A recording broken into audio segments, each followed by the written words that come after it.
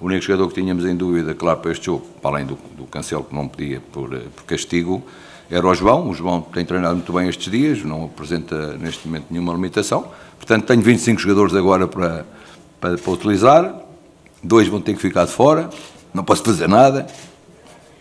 Claro que depois não devia ser este, devia ser o outro, mas pronto, isto é assim. E depois vão jogar 11. É a lei do futebol.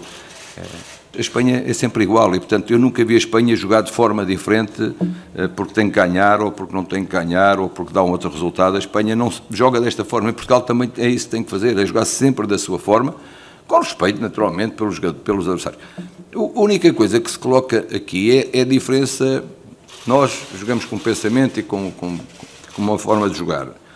Qual é a única diferença, por exemplo, em relação ao jogo da Chequia e a Espanha? É que a Chequia jogava três centrais, três avançados e dois laterais projetados. A Espanha joga num 4-3-3 mais clássico. É, portanto, obviamente, que em alguns momentos da organização do nosso jogo, nós temos que entender isto, não é?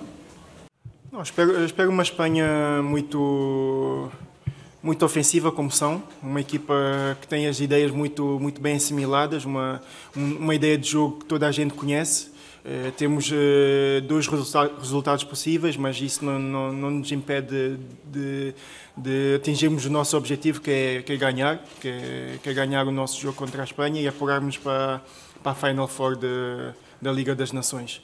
E tendo dois resultados possíveis, isso não, não, nos, não nos vai impedir de, de, lutar também pela vitória.